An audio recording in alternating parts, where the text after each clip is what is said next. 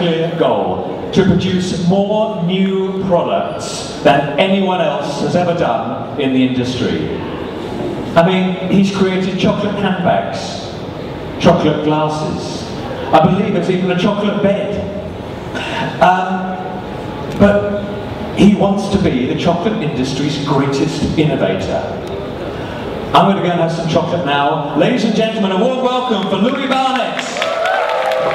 Um, it's great to be here. Before I start, like Samuel said, um, I'm so happy to be here in Malaysia. Malaysia Boleh! It's, it's also my first trip to Malaysia. Um, I spend a lot of my time travelling now around the world. Um, and as was said, I, have been in business a, a, long time now. It's been eight years this September. Uh, my story is a little bit different than Sabirul's. Much like you guys, uh, my story started at the age of 11. Um, I was at school and I couldn't understand why my friends seemed to be able to do their tests, exams, fine, not a problem. And I'd look at mine and go, why is it in Chinese? I can't, I can't read that. What's that? And all the way through my school life, I kept having problems and I found it difficult through every lesson. I found it difficult to remember. I found it difficult to read. And eventually, my teacher came to me and said that there's going to be a very big exam soon in the UK. And we can't read your writing. You have to have some help. So I went away, I found a local teacher um, who took me on, and in two lessons, she says to me, I think you've got dyslexia. My reaction, yes, no school. Um, and I obviously found out what dyslexia was, and get ready for this one. At the age of 11, I was diagnosed with dyslexia, dyspraxia, dyscalculia, short-term memory loss syndrome, and a type of ADHD, which would kind of explain why I had so many problems at school. Um, now that, all of that, you can look it all up online. I'm not going to stand here and explain in detail what they all are. Um, dyslexia, dyspraxia, dyscalculia, they're all to do with reading, writing, numeracy, um, and the short-term memory loss means that I don't really remember things very well. ADHD makes me a bit kind of hyper sometimes, I get a bit jumpy and loud on stage. Uh, but you know, from, from that age, um, maybe it was my hard time at school. When I was diagnosed with those things, and much like Sabirul was saying, it's positivity. It was my first experience of positivity. I had a reason. The first reason why I had a problem at school. I had a, a vision of, okay, I'm obviously not academic, but maybe I'm meant to do something else. So only a matter of weeks later, um, now most of you probably believe that the UK education system is brilliant. Um, it's not. Um, and certainly when it comes to learning disabilities, things have moved on a lot since I went to school, but they didn't really know how to deal with learning disability students. So after having a lot of problems, still in just six, six weeks of secondary school, my parents took me out for home education. I couldn't cope, I was being bullied, I was being bullied by teachers, by students, um, and they knew that if they didn't take me out of school, I, I would amount to nothing. Um, and to give you an idea, and this is a real figure in the UK, 55% of the UK prison population are dyslexic. That is a huge population that is being left out from school, is not correctly being educated, because we learn in a different way. We learn in a tactile way, and we learn from other people. So after coming out of school, uh, much like Sabirul, my parents were telling me that I needed to uh, be a, a, writer or be a doctor or a lawyer, and my dad wanted me to be an airline pilot, actually, which I, I didn't want to do. There's only two things I've ever enjoyed in my life and that's animals and cooking, and that's it. So after many, many arguments, eventually my parents just gave up. They said, oh, just do what you want. Go on, just tell us, what do you want to do? And I started work at a falconry centre. So birds of prey, eagles, owls, that, that kind of thing, flying things. And um, I started work there, bearing in mind I'm still 11 years old, and I was working there voluntary. Now the guy I was working for didn't like kids at all, hated kids. And he tried to get rid of me for six months. And you know, I, I, sat down and thought to myself for a long time, a lot like Sabirul was saying, what am I going to do? I'm 11 years old, I'm not in school, I can't ever uh, succeed in academia, in school, in college, in university. What am I going to do? And I decided that I had to stick to something. This was an opportunity. I had to prove to me, to my parents who were very worried about me, that I could do something with my life. So for the first time in my life, not only did I read one book, front to back, I read seven. And after six months of the guy trying to get rid of me, he says to me one day, Louis, you're obviously not going anywhere. So I want you to follow me around for the next couple of days. I'm going to ask you some questions about what you've learnt while you've been here. I answered every single answer correctly, and I even corrected him on a few. And from that day I became an apprentice in his business. My first real experience in the business world. I was doing invoices, I was running the shop, uh, and also, because I knew so much about it, when he was doing the bird of prey displays, a lot of people would ask me a question, and I'd be able to answer it straight away. And that's one thing I want to talk to you all about. One of the things that I get asked a lot is about confidence. And I was a very unconfident, shy kid. I'd had a lot of problems at school. But knowledge was my confidence. Somebody could ask me any question, it didn't matter what, about the birds of prey, and I could answer. And I realised that that's actually talking. It's what I'm doing here today. The only reason I'm on this stage is because I know about what I'm talking about. It's not because, you know, all sorts of things going on in the UK. And she phones me up and she says, Louis, I want a chocolate cake for my 50th birthday. Right, okay, Auntie Jane. Um, how about a Victoria sponge? No, no, no, no, no. I saw in a magazine and that's what I want. So I had to make this chocolate cake for her. I combined two recipes together of two very classic Belgian cakes. And I started making for her party. And then after the party, her friends loved the cake. And I got a phone call, and another one, and another one, and another one, and so on. And in about two months, I had 50 local clients buy my cakes. Now, to me, it was still a hobby. I was enjoying what I was doing, making some pocket money, which is always good. Uh, but I just enjoyed what I was doing. I didn't think about business. I didn't know about business. The only business experience I'd ever had was from this falconry centre. So without thinking, um, I started dealing with two local restaurants and a delicatessen. And then one day, one of the chefs says to me, Louis, we love your cakes, we love the recipes, we can't keep dealing with you unless you can invoice us. Invoice? Stop. Okay. Um, I got in contact with a local accountant, and he told me that through various processes, I could actually file to start what we call in the UK as a sole trader. So it's a small independent business. And I did that at the age of 12. That made me the Europe's first youngest entrepreneur. I didn't even know until two years later. So there's me making these cakes for family and friends, for local restaurants. And then one of the things that you all have on your side is naivety. Because we're young, we're full of energy, and we want to do something quick. As Sabirul said, you don't think about it. You don't think about it too long and think, oh, it's not going to work, oh, I won't bother. Um, and I was walking through my local supermarket in the UK, and I see a product on the shelf that I recognise from the local area. And I go to the store manager and say, I know that product. I'm a local guy. Do you want some of my stuff? Huh? And he said, oh, it's a business card. Go, go away. And I phoned up the supermarket, not knowing anything about how to do it. They told me that I had to send it down to the post room and, and everything else.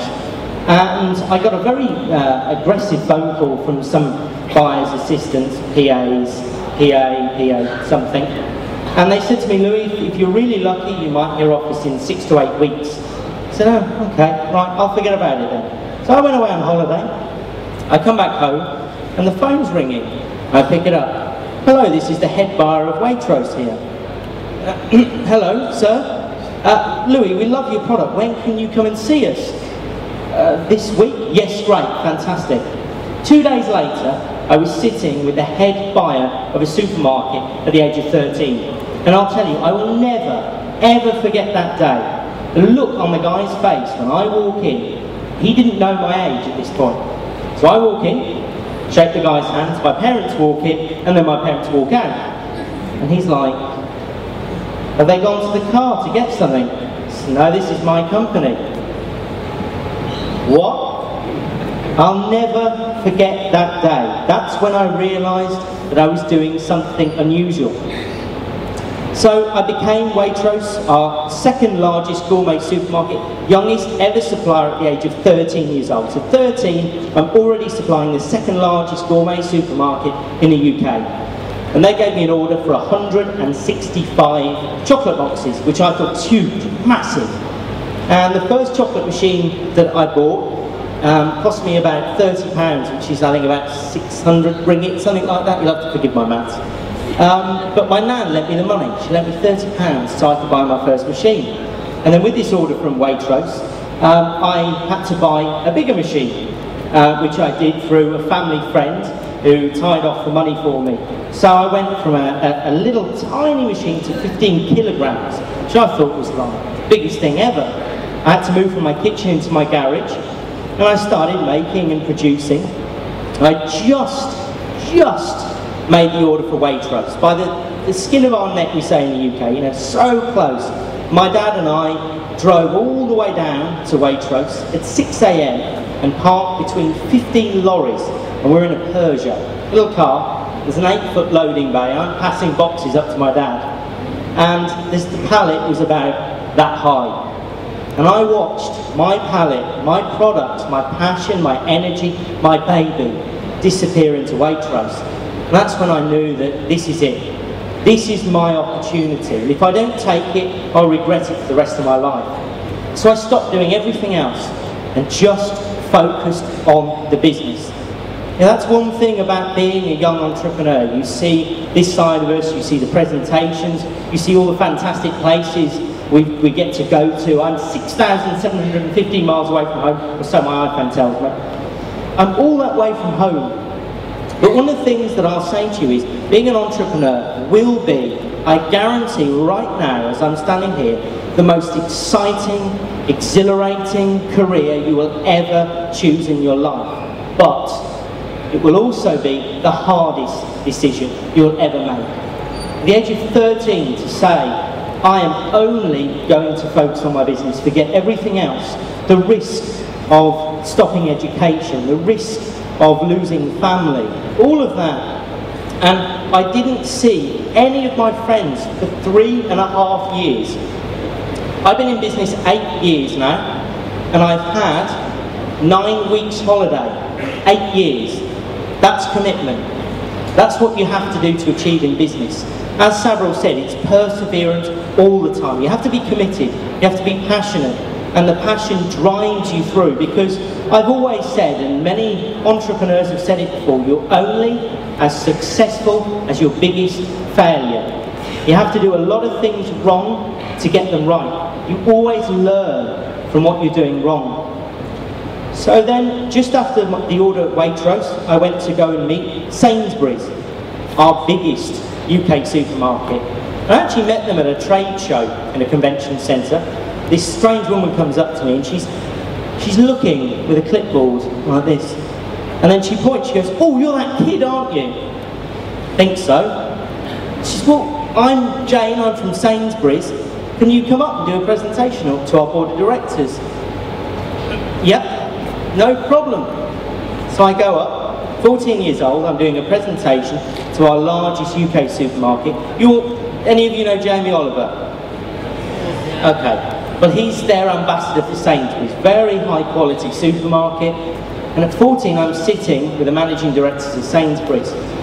And after a couple of meetings, they're burying, keep this figure in your head, 165 chocolate boxes, January 2007 to Waitrose. Six stores in the UK, that's it. After a couple of meetings with Sainsbury's, I look at the buyer and say, what does this actually mean for my company? How many boxes do you want? she, she kind of looks over and she goes, gets a calculator, puts a few numbers in. Oh, well, I think about 350 stores, 60,000 boxes, that right? yeah, fine, no problem. I go back to see my Waitrose buyer, and he wants 40,000. And all stores, all 185. So there's a bit of naivety for you. At the age of 14, I have an order for Christmas of 100,000 chocolate boxes. I have to move into my first, I opened my first factory when I was 14. It got opened by a local MP. Um, I moved straight in, I've got 10 local staff, two 100 kilogram chocolate machines, like a bat chocolate, going around, know, Willy Wonka stuff.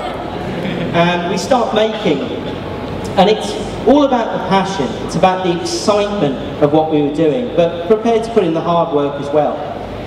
And the recipe that I did, and this is one thing that I'm very passionate about, it's all very well and good marketing and PR, and my, at that point I was getting a lot of press in the UK. But if your product isn't good enough, if you don't really know about your product and your industry, somebody will only ever buy it once. The packaging might be fantastic. They open it, they taste it, they're not going to buy again. And no one, no business on this planet makes their money only from new customers. Always remember that. Business is about repeat customers. So for me, although we were dealing with a supermarket, we had huge quantities to do. The exact same recipe that I used to do on my kitchen table, in my family home, was scaled up in my factory. The same recipe, the same ingredients and same amounts, everything exactly as it was and should be. To make sure that my customers had the best product. The best ingredients create the best product. That's one thing I want to put across to you.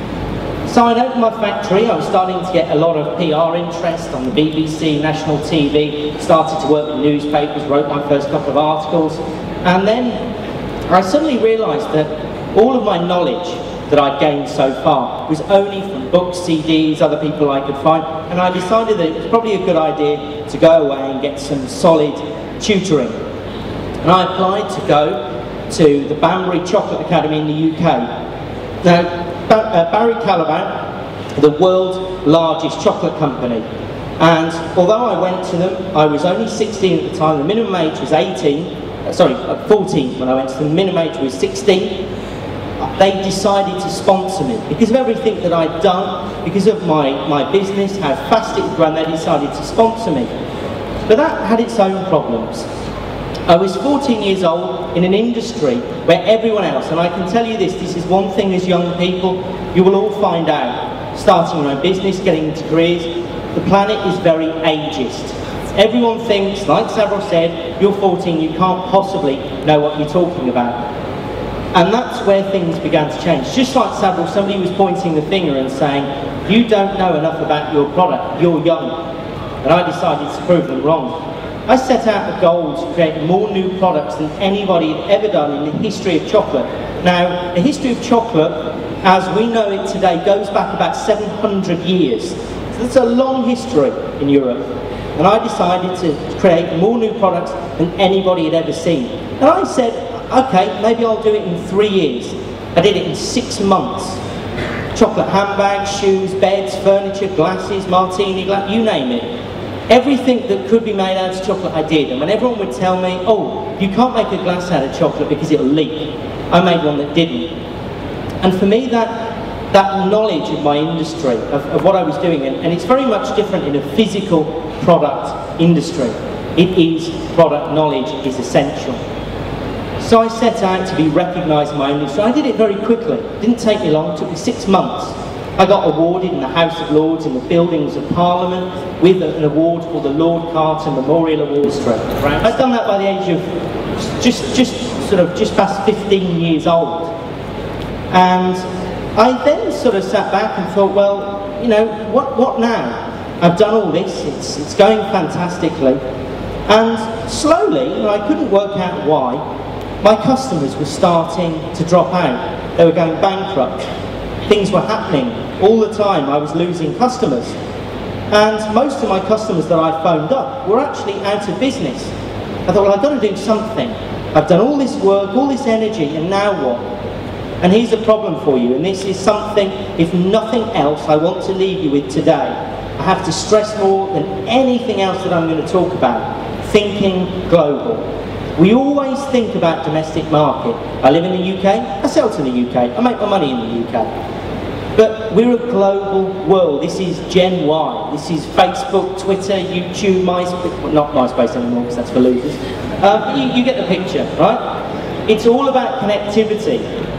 And I started to think, well, you know, maybe, maybe the UK isn't such a big place. Maybe there are a few places outside that might want to buy some chocolate. So I started getting in touch with the government. I'd already had a little bit of contact with local members of parliament, local governors, and I got in contact with UK Trade and Investment, the agency for export the UK. And it started out small, you know, with a little bit of Eastern Europe, France, Belgium, the kind of places that you would normally think about. And this is a story I want to bring to you. Age of 17, I'm doing a little bit of business abroad. I go and see a customer. In the UK, I spend two hours with that customer, two hours, and they buy one case of chocolate bars. One. Then I fly to New York the next week. I spend 15 minutes with a buyer, 15 minutes, and they order four pallets. Right, that's six and a half thousand bars on each pallet. Four pallets, straight away. And that opened my eyes. The world's a big place. And however big your country feels, However much you're concentrating on domestic market, you have to realise that sometimes your business idea is too advanced for your own country. Sometimes the market isn't big enough, but it doesn't mean that there's not a market for you somewhere else. So for all of you sitting here today, I want you to think, you know, hopefully we've given you some ideas of whether you want to be an entrepreneur, what I call an intrapreneur, the mindset of success in, in an average career. But please think global. This is the dawn of the global age of business. It is more important now than ever. It is getting easier to trade than ever. I spend time in countries all around the world I'm now a government consultant for the British government. I work with the British Council and UK Trade and Investment. Um, I'm just about to go on my first trade uh, mission to Mexico um, at the end of this year with the UK Prime Minister. And that's another thing. Much as Sabirul said, people is power. So when I started out in business, I got to know a lot of people in my industry. I grew my network very quickly. But I will tell you right now that most of what I did, most of the continued success, the growth in my business, and especially abroad, is all about getting to know the right people, one to the other. And eventually, you get to the top. When I deal with supermarkets, I don't deal with one buyer. I deal with the commercial director or the CEO. I know the CEO of Sainsbury's, the CEO of Waitrose, and all my other customers. And because of that link with the British government, it's knowing, and this is another thing, this is dangerous for Gen Y to be talking about this, but I want to tell you a word that you won't like. It's called politics. And it's something that has to be involved in business. You have to understand that if you're ever going to grow your business, grow foreign markets, we as Gen Y finally have the power to say something about politics. If we ever want to change our world, if we ever want to change our business community, you have to get involved now. Don't moan about it. A lot of people in the UK, you say, oh, politics, oh, rubbish. Don't moan unless you've done something about it. I, little old me, I've changed three laws in the UK now to do with export. Three. And I'm 20 years old. I'm the first person ever in British history, in Parliament, to sit in Parliament in a full debate in a pair of jeans. the first person ever. I'm the first person to meet Princess Anne, Prince Charles, and go to Clarence House in a pair of jeans. This is Gen Y. We can change things. So I want to leave you with a, a few points. You know, as Sabirul said, it's, it's the passion, it's the motivation. You have to know where you want to go. But you also have to understand that it's a big world out there. It's huge. It's about your product, it's about your service, the best ingredients, the best people create the best success. As of February 2012, I, okay, a long time ago, you remember the goal I set to be one of the best chocolatiers in the world? Big goal, huge. February 2012, I became a member of the World Chocolate Ambassadors Club. I am now one of only 39 of the world's most qualified chocolatiers. I beat the age by 20 years, and not only that, I'm the only ambassador, the only one that understands chocolate to a molecular level and full industrial customers. So not only did I beat it by age, I beat it by knowledge. You have to know about your industry, and with knowledge comes power. I went away, I studied marketing, I studied fashion, everything that touched my industry I had an interest in. I, seek, I went out to seek the knowledge, to know the people in the industry. The reason I couldn't be here for the launch event, I was in Germany, I'm now a consultant for Kodak, and I was sitting on the stage with Antonio Perez, their CEO. At 20 years old, I am a consultant to companies as big as Kodak and the British government. Age is never a barrier, it's just a number. It doesn't matter. So, remember everyone, Satu Malaysia. Let's, let's use Gen Y to unite the generation. Let's use social networking and our spirit to change politics for the better. Malaysia Boleh! Ladies and gentlemen, once more for Mr. Louis Barnett. By the time I get home, I'm going to publish the second book, if you can, if I can, you can, in Malaysia. So please, if you have any questions, I know it's difficult to ask them now. If you see on my uh, on on the slide there, please get out your phones, add me on Twitter, add me on Facebook. If you don't want to ask a question in the audience, just tweet me, and hopefully. If you ask a good enough question, I'll put it in my book and your name. So how about that? So make sure you add me on Facebook and Twitter. So, any questions from anybody? Was that a hand raised over there? No? I, um, Louis, I have one question. Your, your recipe, it said on there, it's not what we put in, it's what we leave out, or was it the... Anyway, do you have things like a copyright on your chocolate recipe? It's, it's, it's very difficult to, to get a copyright on, on recipes, unless it's uh, sort of a brand new molecular um, status of, of recipe, but really what I, what I try and push across is I'm always seeking out the most innovative ingredients in my industry. I'm always seeking out new suppliers, new flavours, new concepts. So, it, you know, a lot of people have copied me. I started making an edit, when I was talking about chocolate boxes, it was actually a box made out of chocolate. The lid, the base, everything. That's been copied all over the world. You can find it in, in Mexico, in America, all over the world people copied me. But by the time they'd copied me, I was already two years down the line with 30 new products. So, especially in physical products, very difficult to get patents, very difficult to select IP, but it's always being that step ahead. The innovation, the constant progress in your marketing and your development as a, uh, as a company. Thank you.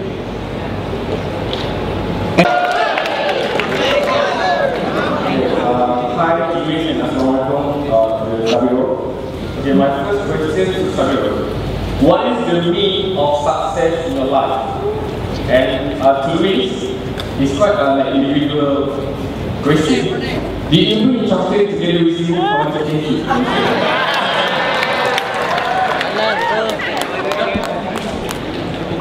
Do you want to come, sir? Sir, can you come come back to, to the microphone? That's all right. We, it's just it's always good to be there because if you need to repeat a question. so, What for Sabiro? Uh, for Sabiro. Okay, first for Sabiro. I repeat the question. What is the meaning of success uh, in your life? What is the meaning of success? Uh, for Sabiro first. I, I know, I understand the, the question for Louis, but we aware of the question. Oh, for Louis. Okay, for Louis, you have uh, carrots for the chocolate. So I want to taste the chocolate. he wants a sample. so do we all.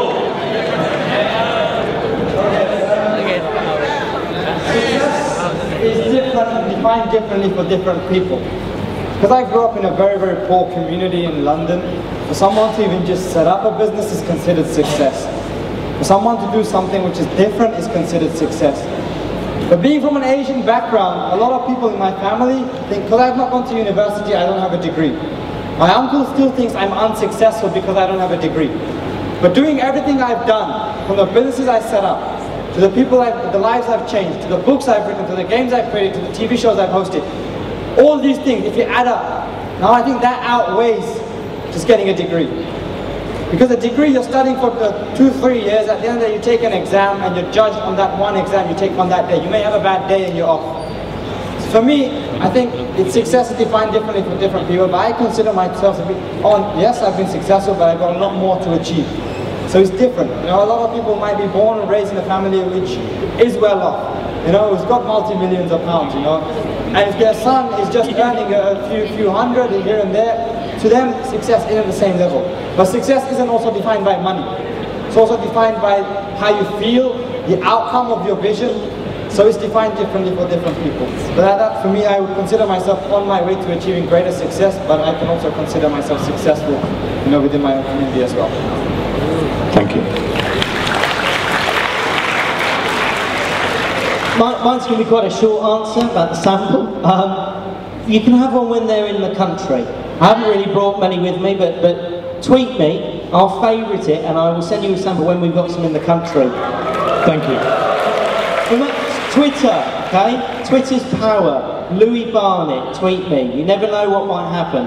And just to add a really quick point to Sabirul, um, I've always found with success in what I do, um, it's taking time to kind of treat yourself to a little bit of success along the way. So it's not waiting till you get an award or a medal or money or whatever it is that you want to get to. You know, I set out my goal of being one of the world's most qualified chocolatiers. It took me eight and a half years. But there was a lot of little successes in between. So it's taken that time to sit there and understand what you've done every day. What have I done today? You know, one of the things I want to leave you with, and whether this translates very well, I hope it does, because I say this every single night before I go to bed. I was very close to my grandfather when I was young, and I took a lot of inspiration from him.